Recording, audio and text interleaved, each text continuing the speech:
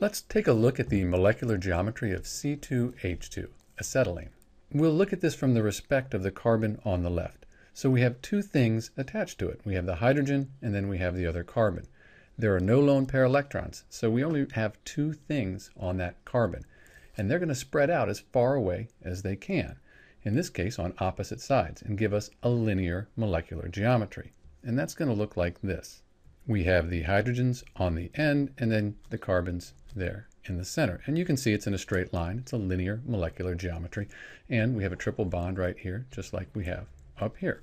We could also use the AXN notation to figure out the molecular geometry for C2H2. A, that's the carbon we're interested in. X, that's the number of things bonded to it. We have the hydrogen here, and then we have this piece over here. So we put a 2 for X. And then N, that's the non-bonding electron pairs. Well, all of the electron pairs are involved in bonds. We have the triple bond and then the single bond. So we don't need to really worry about N here. We'll just get rid of it. So you could have memorized that AX2 is a linear molecular geometry, or if you have one available, you could look it up on a table. And as we go to our table, the very first thing on it is AX2, which is linear, and the bond angle would be 180 degrees. That just means that it's a straight line. So that's the molecular geometry for C2H2, and this is Dr. B. Thanks for watching.